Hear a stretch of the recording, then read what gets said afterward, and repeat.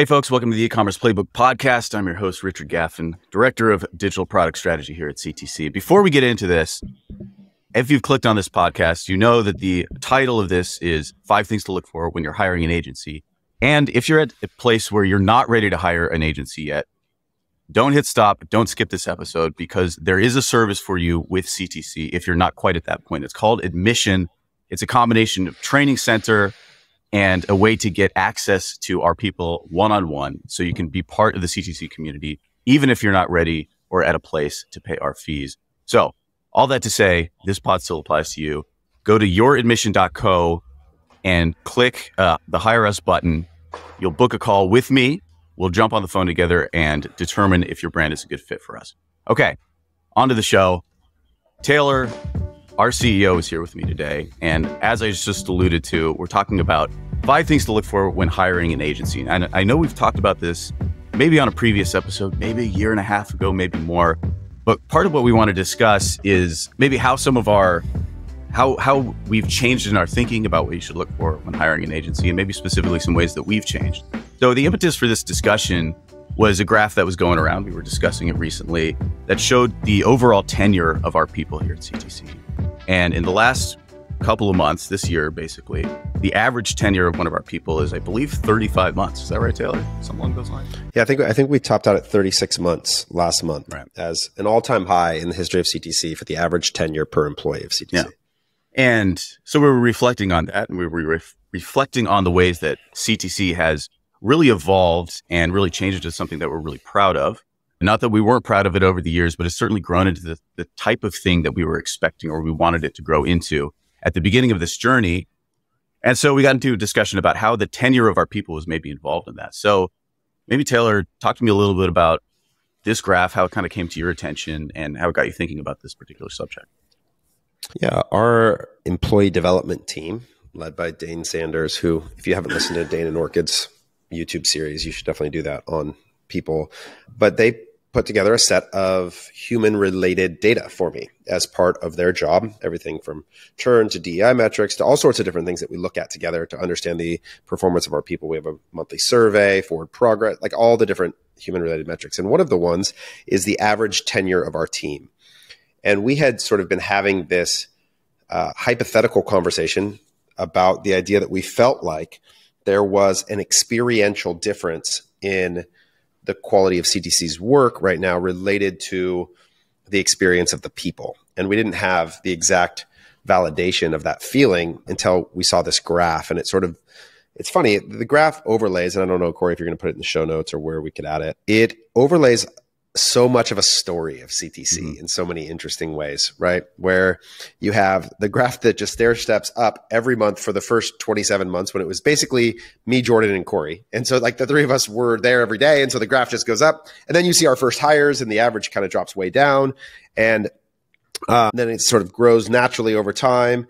Then in the COVID era, when we were hiring so aggressively, we got down to the average tenure of an employee being about one year which was sort of the lowest it ever was. And what it reflected was that there was a point for CTC where we were almost 200 people and we had 50% of the staff of CTC had been hired within the last year. So 100 people had been at the company for less than a year. And what that fundamentally means is that there's a lot of the experience of the employees of CTC where they are still learning to do the job and the amount of customers that are experiencing those people becomes a higher percentage of the overall book of business. Mm-hmm. And there's a relationship there because any agency, and this, this is like less about the quality of the humans involved at all, and more just to say that you get better at things over time. Yeah. And so your experience matters. And so as those repetitions of learning to solve novel problems, understanding the dynamics of great customer service, understanding the unique way in which CTC does what we do, there is definitely a relationship between this metric and the quality of the work overall. Right. And I think one way to say it maybe is that at a certain level, or when you're maybe at the average tenure that we are right now, most of the people who are working on accounts aren't expending any energy learning how to be a part of CTC or be a part of our system.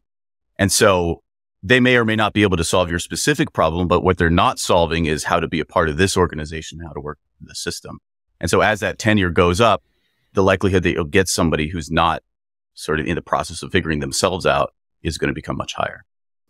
Yeah, and, and, the reality is is that we have this thing that especially people from the brand side, and this is not to knock people if this is your only career experience, but they often come with what we would call experience debt, yeah. which is that their experience in their previous role actually is something to be overcome, yeah. not something super useful. Because when you've worked in one data set, and it, especially if it was really successful, you tend to think that you can apply that same roadmap to every problem, but it's really just not the case. This is such a wicked environment to steal language from the book Range, where every business is really novel in the way that it needs to be approached and solved. And so there's a framework for thinking about it, but previous experience often doesn't lend itself too accurately to the specific problems. And so it just takes people time to get a breadth of repetitions, a breadth of problem solving to develop the kind of thinking that necessitates being really good at this job. And this is there's a narrative like I think in the public sphere where you'll hear people talk about like hiring small agencies mm. and or like this, like, or even individual freelancers. And I think what in each case people are after is experienced quality work. Mm-hmm. Right. And so there's this idea that if it's a small shop that's been together for many years, that like they have this high bar of work, and that often can be the case. But I think that the real thing you're after is how experienced is the person doing the work in the job that they're doing? Mm-hmm. And how much can I trust that they'll execute it at the level that's consistent with what's being sold to me in the process? Right. Yeah, that makes sense. There's a quote that I think about a lot relative to this from Raiders of the Lost Ark, where Indiana Jones says, It's not the years, it's the mileage.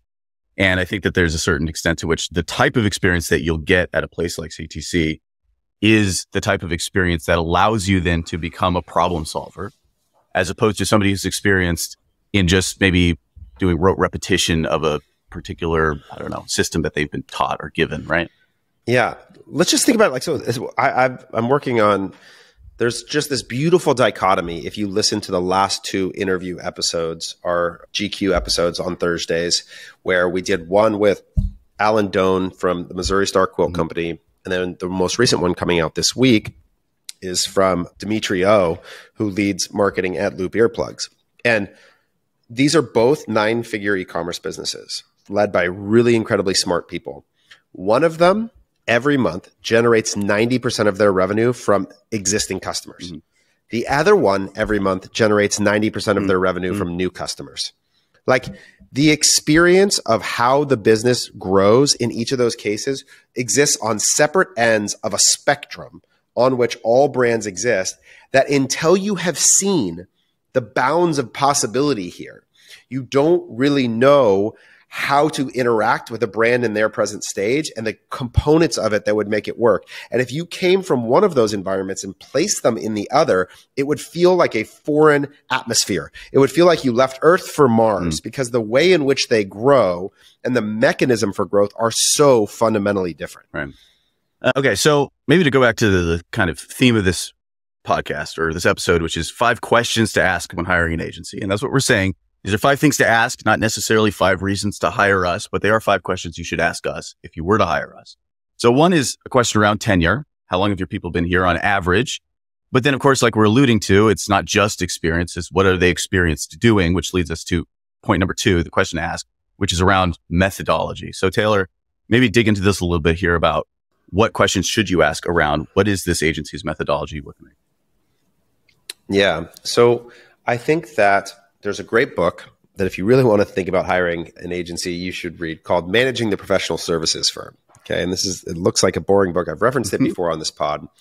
And what it describes is that human services business exists on the spectrum from, let's put one end, which is highly consultative, novel problem solving, where it's basically hire the smartest people in the world and let them solve problems in unique ways. And think of that as like McKinsey. Now, I understand that McKinsey has some frameworks and things like that. So it's never absent any of that. But it's just to say that it tends to lend more on the thing you need to evaluate is the quality of the person that you're interacting with. Okay. The second end of that spectrum is like, let's the, the metaphor I'll use often is like H&R Block or tax processing, where it's literally like it might as well be software. It's so checklist, mm. right? It's like any human is walking through a set of very prescriptive steps. And the idea is that you can get lower cost labor performing highly operational work in a way that is repetitive and the same. the question I would ask the agency is which one are you? Because that's how I should think about evaluating you. Mm-hmm.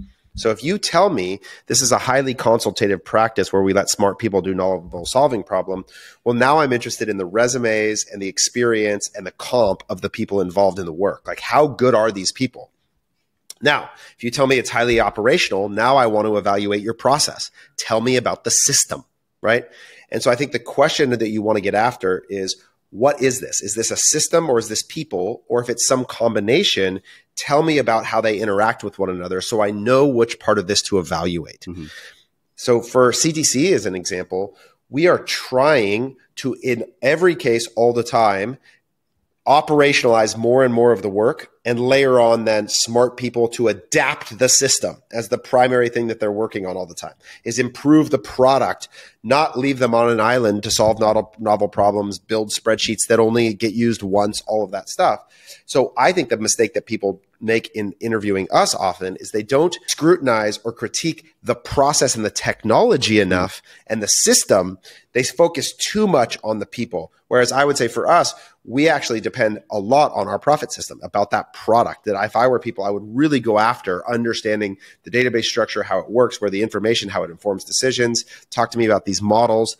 And that's that's where the, the conversations more and more are pressing towards is tell me about the information that's driving the decision making and how it gets constructed more than tell me about the experience of the individual. But I think understanding which one this is mm-hmm. is really important. Yeah. So uh, that then I think leads to another question about which one do you want? So the the sort of analogy I think about with this all the time is you can always get a good cheeseburger at In-N-Out Burger. And they hire, they're not hiring Michelin star chefs for that, but it always works. And if you get a great, you go to In-N-Out, you get a great burger for those Californians out. Now, if you want to go to a Michelin right. star restaurant, those people are hiring the best of the best of the best to produce that outcome. Both are different things. Both are good for what they are. So when you approach an agency, how do you know which one you're looking for? Do you want a cheeseburger or do you want a, you know, celeriac ring? What do you, what do you look? So th- this is such a good question. And this is actually, I think, the primary problem that brands have in hiring an agency is they don't know the answer to that exact mm. question.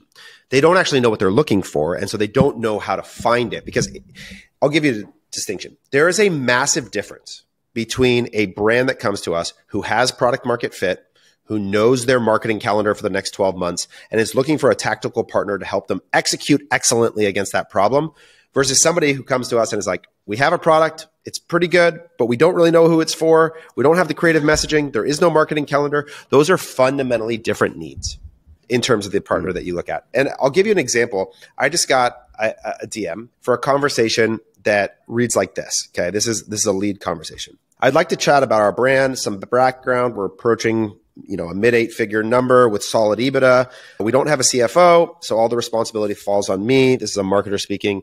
Would love to get your perspective on ways to trim back spend efficiently so that we can achieve max profitability while still seeing some growth. We're growing this percentage this year. We're way ahead in this month.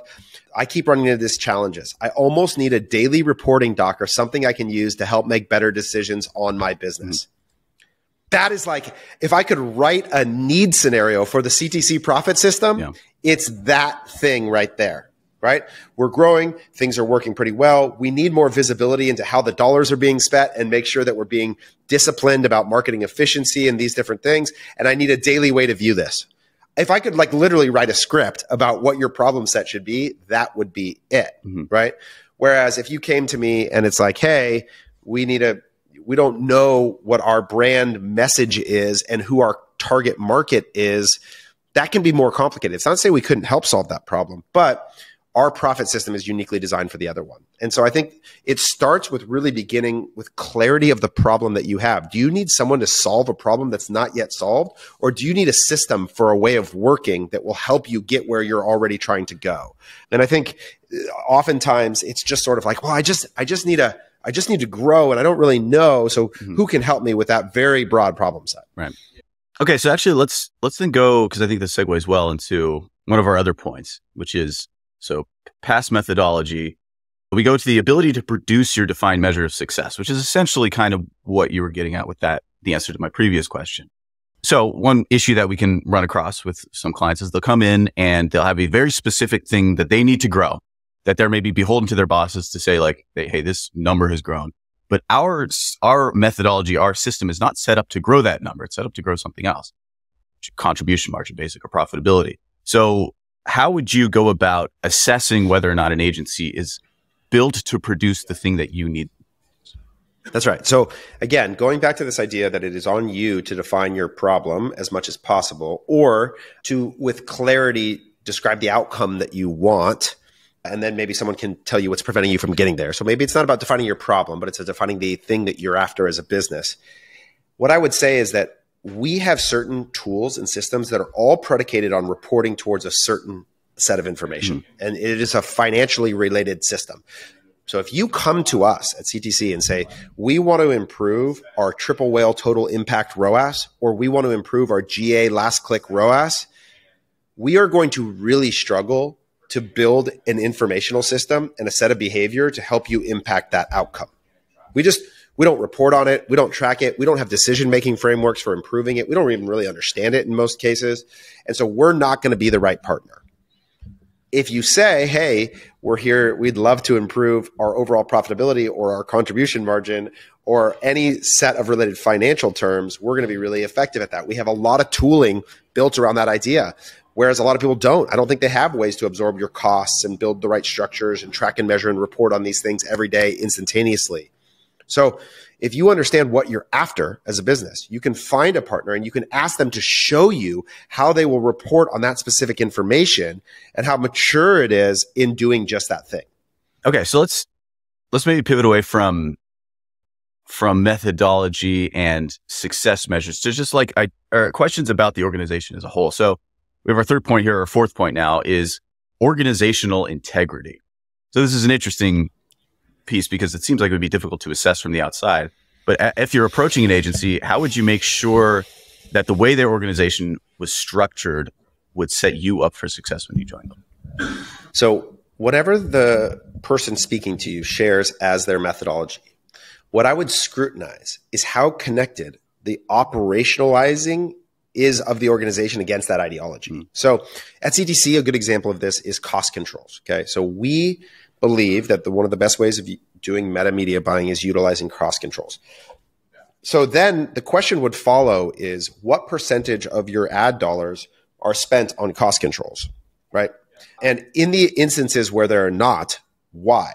That would be sort of an example of a line of questioning that I would want and expect an answer to. Hmm. And we, we track these things. They matter to us because it is important that our people do the thing that CTC is proclaiming to be the most effective. And it's really easy. Clients will drive you towards all sorts of crazy behaviors. Hmm. Like if you just allow them to dictate the pace. But we have a belief in a system, the way that we want to work, that's really important. So whatever it is. Now, this, it could be how they structure PMAX. It could be their belief about email, whatever it is. What I would ask is tell me about how you are tracking the implementation and application of that idea in your organization and what are the rates of success. And when it goes off the rails, why?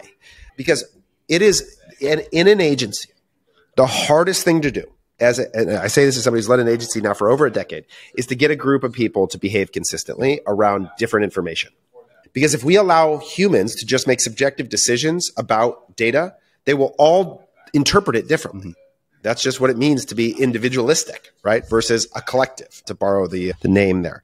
So I think that understanding how the organization obligates and tracks people towards collective behavior, again, unless they're telling you that we are just a collection of really smart people and they're all allowed to do whatever they want, in which case, then the entire thing is about evaluating the specific person you're going to be working with. Yeah. Okay. So for those of us who, or like, let's say somebody's coming to assess CTC's organizational integrity.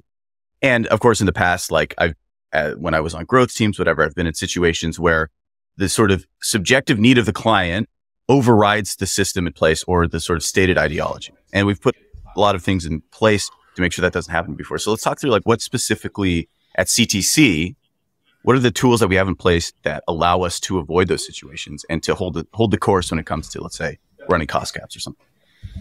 Yeah, it's a, it's a great question. And what I would say is I repeatedly tell people that their job is first primary employee of CTC, then the client is a vendor of ours, right? But they work for CTC, which is, means that their primary job is to deploy the methodology of CTC. Now, does this mean we want to bludgeon customers with things when they're making requests of it? No, of course not. We want to have conversations. We want to educate. We want to have dialogue. And in some cases, we will capitulate to the idea that like it is so critically important to them that they run this alternative test that we'll make accommodations for that. But what I also tell them is that they should feel that they have resource in myself, their manager, their director, their VP to bring them into the conversation when the customer is asking for an alternative point of view.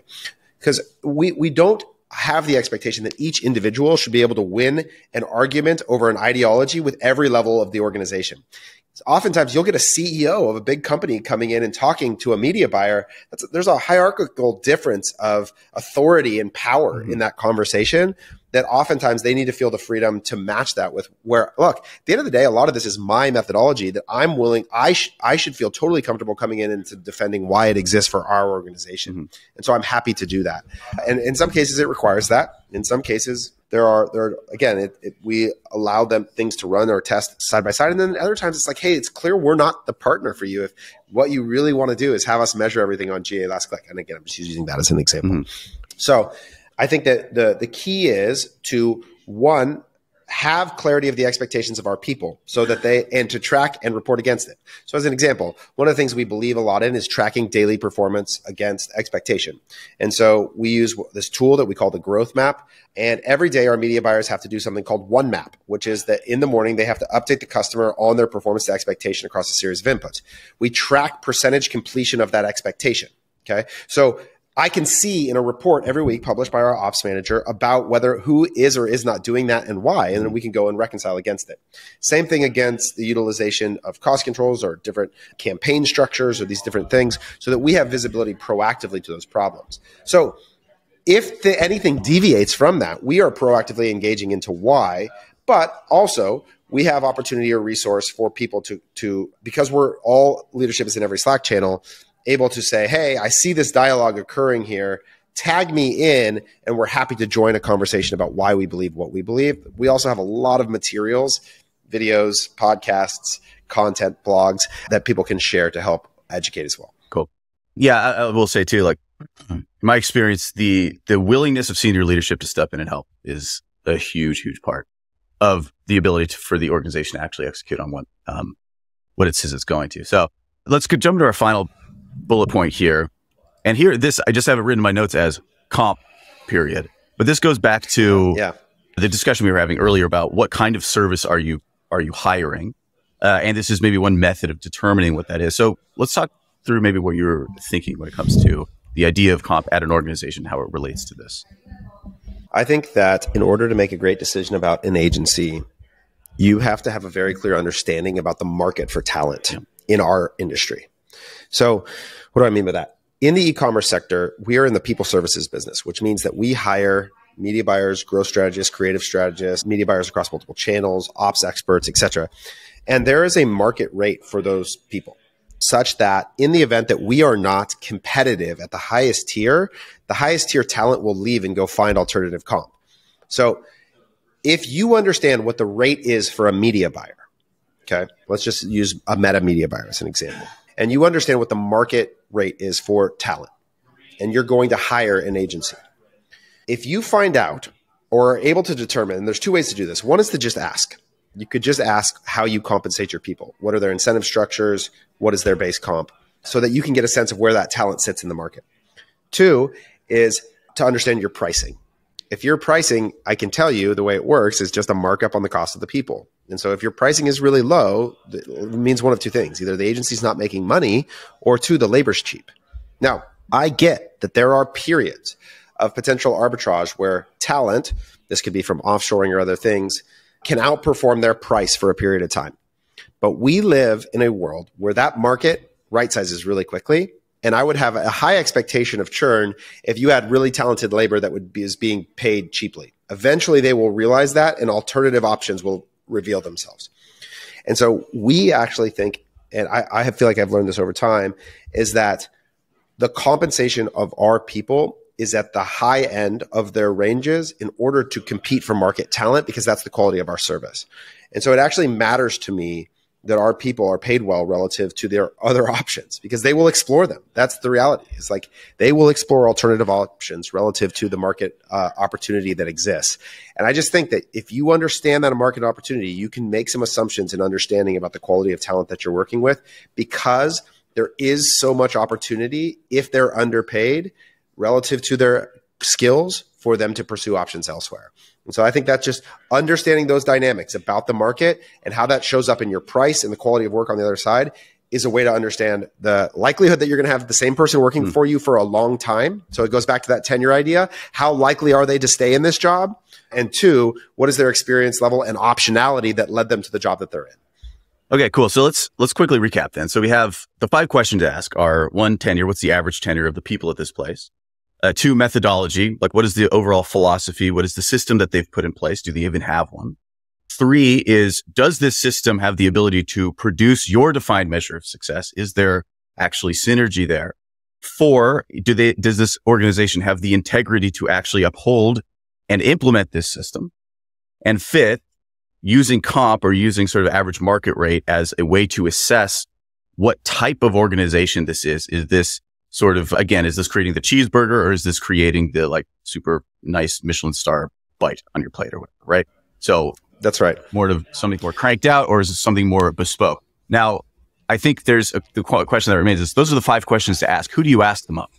So obviously the answer is at least partially just the agency themselves. But then you, you also have this maybe a specific referral way to think about this, like talking to a current client, previous client. So maybe talk through that. Like who do you, how do you yeah. gather this info? So if I were to ask for referrals from an agency partner, and one of the things I, I'm in a lot of Slack channels where mm-hmm. they're just, you know, these group Slack channels that are throughout our industry. And I am blown away at how much someone will at, lob a Slack question. Mm-hmm. Hey, has anybody ever worked with client XYZ or vendor ABC? One person will respond. They may or may not know each other. They'll have something positive or negative to say. And it's like, awesome, thanks. And it's like, that's it? Like, there's no way, there's no way that you can get your answer to the question that way. Mm-hmm. Instead, I actually think this is like a very intimate process that requires time and thoughtfulness. And so anytime I was asking for a referral, I would ask for three things.